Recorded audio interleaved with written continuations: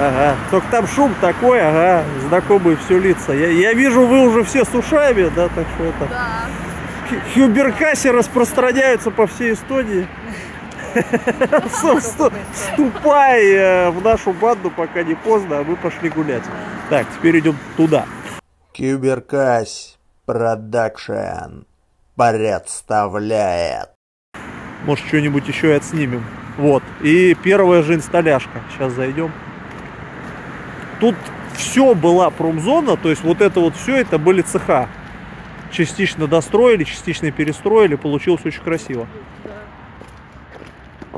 Причем это все, ну, я этого не помню, я не настолько древний, но оно еще и дымило, говоря, что в центре Таллина вонючее производство было. И кто додумался, непонятно. Вот очень милая собачка, да. Тут должны быть еще инсталляшки. Да, собственно, в любом порядке можно гулять. Ну, давайте тогда прямо, раз уж пошли. А, да, вот это самая прикольная инсталляшка. Ну, днем тут народу вообще немерено. Сейчас никого нет, то есть явно оно вечером не функционирует. А, ну да, вот к разговору о том, что это промзона.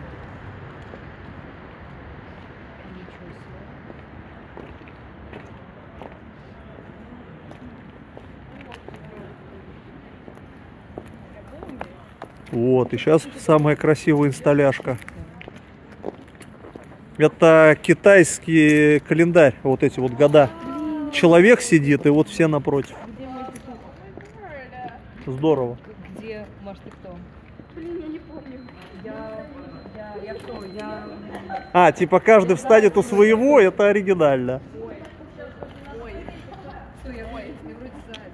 Я без понятия. кто. Так, а мне сейчас тоже надо проверить, кто я. Заяц там, между змеей и львом.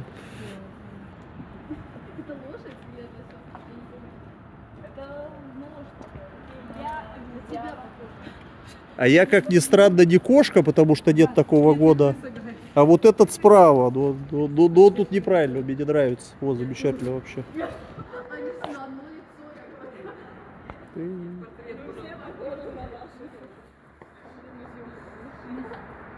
Выберите свой год. Так, давай я хоть по порядку назову, дорогой зритель. Знаешь, мышь, бык, лев, заяц, дракон, змея, лошадь, козел, девушка красивая, э, обезьяна, петух. Это кто? Собака. Собака, да. И справа я. И кто мне скажет, это кабан. Я ничего не знаю. И у меня там был еще год, кажется, огненного вепря, что-то такое. Но что я неряха, это факт. Так, чудненько. И вот этот вот человек сидит и типа, я бедное несчастное существо, я ни в чем никогда не виноват, во всем виноваты вот эти зверюги, в чей год я родился, на них все отмазки. Так, вот здесь вот у нас центральный кинотеатр Кока-Кола Плаза, он впечатляет тем, что он совершенно не впечатляет. Это обычный квадратный белый сарай. Я не понимаю, почему центральный кинотеатр так выглядит, но, но так выглядит. А здесь э, парничок. Мне прям интересно стало. Ну да. Отдыхай с удовольствием. А что, прикольно. Э, Ну да. Я бы отдохнул, только двери нет. А здесь у нас очень мокрая искусственная травка. Почему бы нет? Так, кошечки явно заинтересовались человеком. Он еще и босиком. Надеюсь, там этот человек не голый, а то опять же YouTube не пропустит. Вроде не голый. То хорошо. Так, мы продолжим, не переключайся. Тут написано место для согрева и отдыха, но есть одна маленькая проблема, нет двери, поэтому, вероятно, не для нас. Ну, ее вообще нет, ну это просто стекло. Там замок. Может быть, она днем работает, но я не уверен. Э, Ладно, пошлите куда-нибудь туда, например, да. Так, две трубы, медведи. Ну почему бы и нет? Почему бы и не медведи, действительно. Только, как всегда, бы не с той стороны подходим. Да, это без вопросов. И вот это вот тоже все еще с красной подсветкой. Великолепно. Ночью я, кстати, тут не был. Так. О, смотрите, это, это вообще заяц. Вот только в темноте не видно. Здорово. Кто в него залезет? Катя, ты давай. Катя, ты инициатор. Да, давай сразу. Так, тут еще медведи. Медведи это нынче не политкорректно, их надо было снести. Некрасиво, некрасиво. Ну, хотя в Эстонии, вероятно, тоже есть медведи. Так, туда точно не пойдет, так что идем прямо. Потому что кинотеатром все заканчивается. Вот это вот унылый кинотеатр. Я имею в виду, что он, ну, кинотеатр-то он хороший, но унылый он в плане архитектуры. Я помню, мы с мамой, когда только-только вышел первый аватар, блин, 10 лет назад, наверное, как давно это было-то, вот мы в 3D туда, сюда ездили смотреть из э, другого региона. И полностью... Так, дорогой зритель, прости, я просто не снимаю много людев, они не любят, когда их снимают.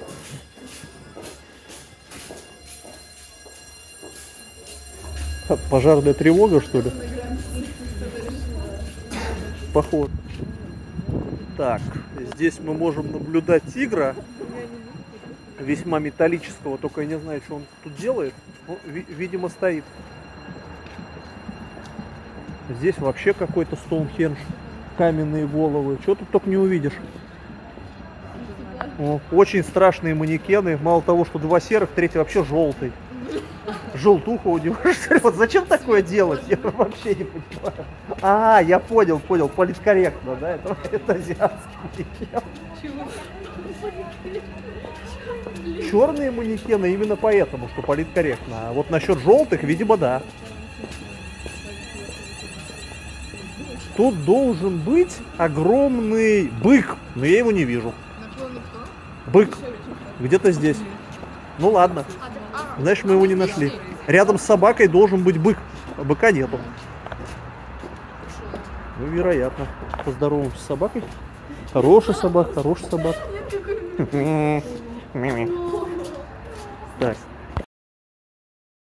Так, вот здесь вот у нас прекрасный вид на А-терминал, Д-терминал. Смотри предыдущий ролик.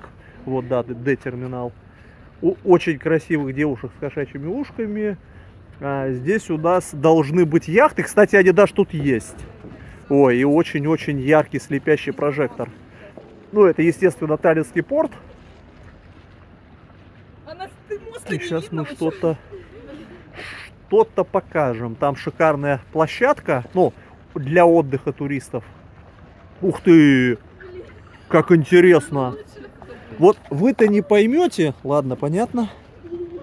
Дело в том, что у этого парома носовая аппарель. А насколько я знаю, после катастрофы парома Эстонии носовые аппарели запретили и должна быть кормовая аппарель. Так что можете написать в комментариях, почему у него носовая, я этого не знаю. Может снова разрешили. Вот здесь вот у нас будет построен грандиозный квартал. Ой, слепит адски. Вот так. Э, дорогущий, естественно. Здесь у нас огромные вазы. Тут шикарные скамеечки. И вообще тут все очень интерактивно, все очень красиво, все очень цивильно. Так. Обожаю вот эти вот скамейки на цепях, но сильно вероятно, что они все мокрые. Блин, какие... Они качаются, да? Да. А у вас таких нет? В Эстонии во всех городах такие Да? есть. Да. Прикольно. Но, но они реально мокрые, так что, видимо, идем смотреть яхты. Э, Ну что, пытаемся яхты смотреть, они если есть, то там. Пытаемся. Хорошо, Аристи. не падаем. Ну, катер тут точно стоит. Э, Когда этих всех раскопок не было, ну и, естественно, в теплую погоду, тут вот вся эта гавань была... Тут стояли яхты, причем тут стояли дорогие. То есть в Пире-то там есть еще одна стоянка для бюджетных яхт, и там много. А Здесь именно элитные, дороже. Классно. Разве что фонари тут специфические, видимо, для создания интимной обстановки. И опять вот это вот, Бэтмена что ли вызывают? Что это вообще такое? Ну мы его съедим, кошки мы или где. Нам нужна еда, да. Бэтмен явись. Для тех, кто не знает эстонского, называется, конечно, забавно это здание. Ага. Э, Вообще с- садом это порт, но, но звучит прикольно.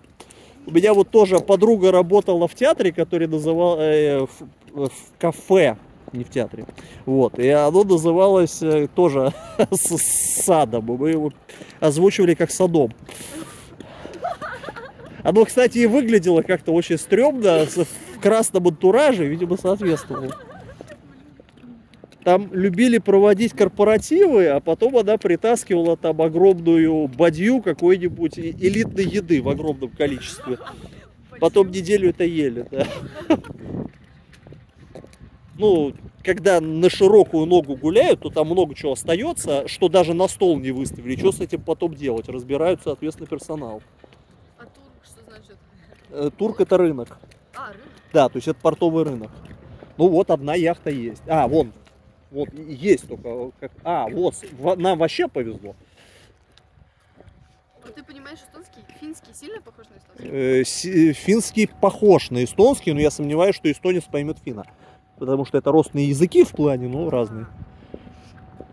Ну, а, ну, с другой стороны, куда его могли убрать? Насколько я знаю, это знаменитый пароход, только его история написана рядом с ним. Вот, так-то могу что-то вспомнить. Я помню, что при распаде СССР этот пароход гулял по скандинавским странам, и, по-моему, как раз в Швеции его хотели прибрать к рукам, потому что там да- да- давние терки Чуть были. Да, да, да, да. Но и эстонские моряки сориентировались и просто оттуда свалили, пока они там разбирались, куда его надо, да. Э, Что-то осталось.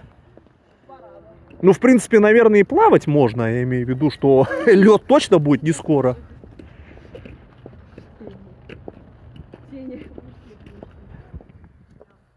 Просто вы куда милее, чем все остальное. Я думаю, что зритель оценит. Надеюсь. Ну, если он это не оценит, я уж не знаю, что там еще надо.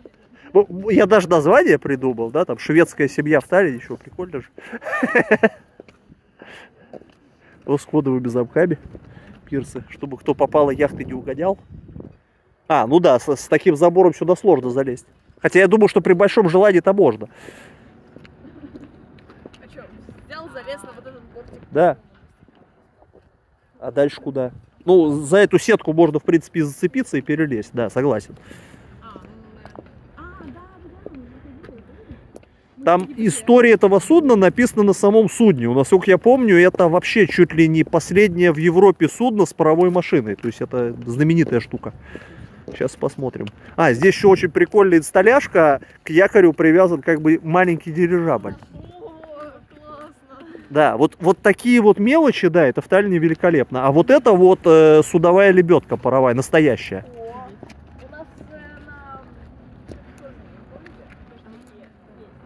Так, ну давайте посмотрим, раз мы сюда пришли. Удачно пришли. Так, это... Я затрудняюсь сказать, что это, по-моему, просто э, сборка чего-то прикольного. Мина? Хотя, может, это- нет, это точно не мина, это скорее на подводную лодку похоже. Тут, Ага. тут даже подписано. Ага. И будет он судить народы, и обличит многие племена, и перекуют мечи свои на оралы, и копья свои на серпы, не поднимает народ меча и не будет более учиться воевать. Ока. Но, но все равно это неведомая хрень, что это еще может быть. Так, э, там должна быть история написана этой штуки. Вы что делаете? У него хоть э, название-то есть, да, да.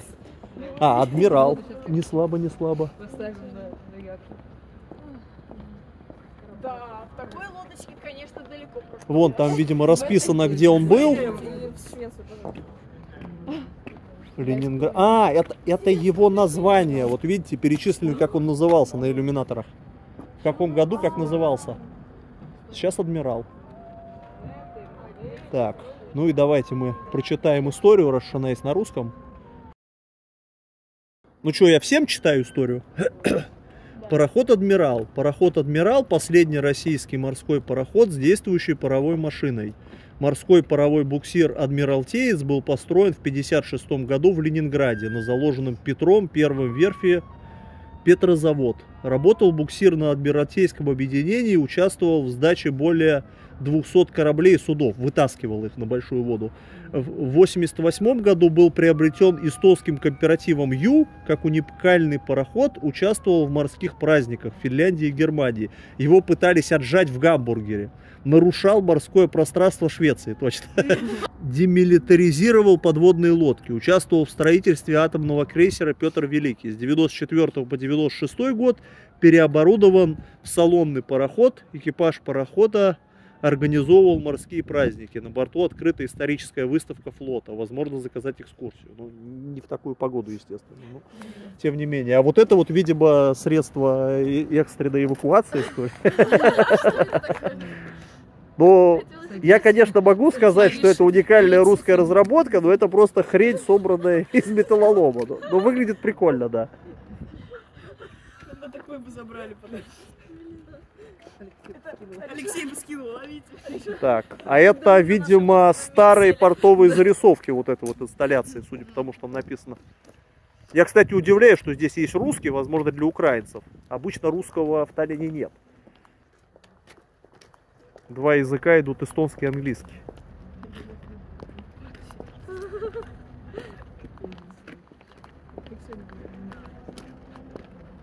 Кстати, этот Роттерман, где мы гуляли, виден отсюда, и он очень красиво выглядит. Вот там красным светит, там желтым. Да, там мы гуляли. Прекрасно. Так, уважаемый зритель, прости, но у меня замерзли руки, так что я покажу тебе красивых девушек, а а потом еще что-нибудь когда-нибудь покажу.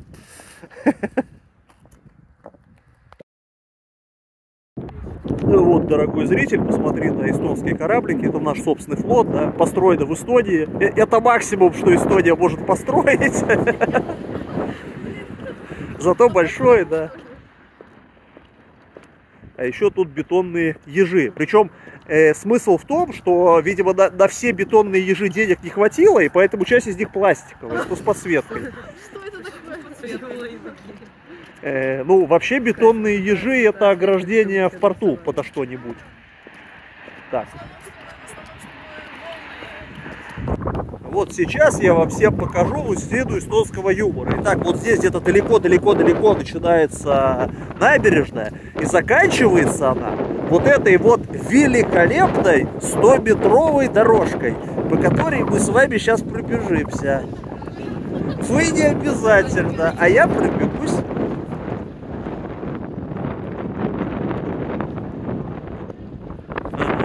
Э, Нас преследуют кошки.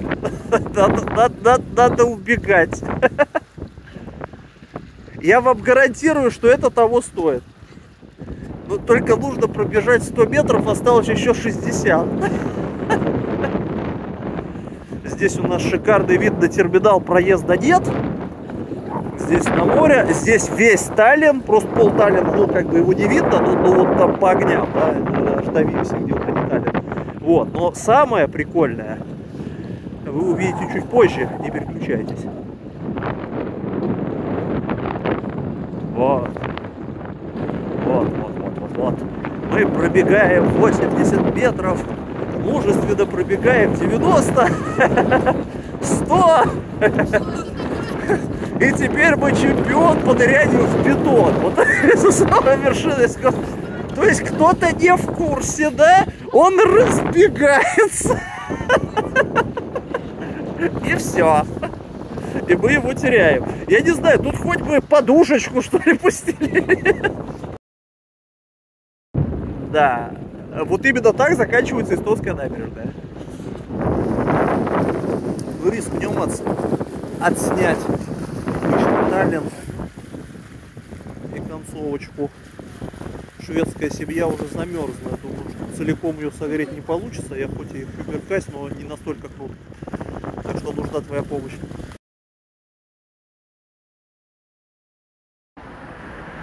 Ну, будем считать это финалом.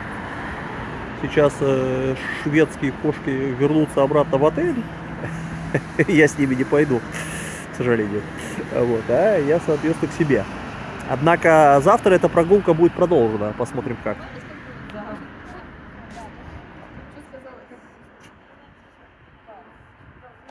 apakah? Uh,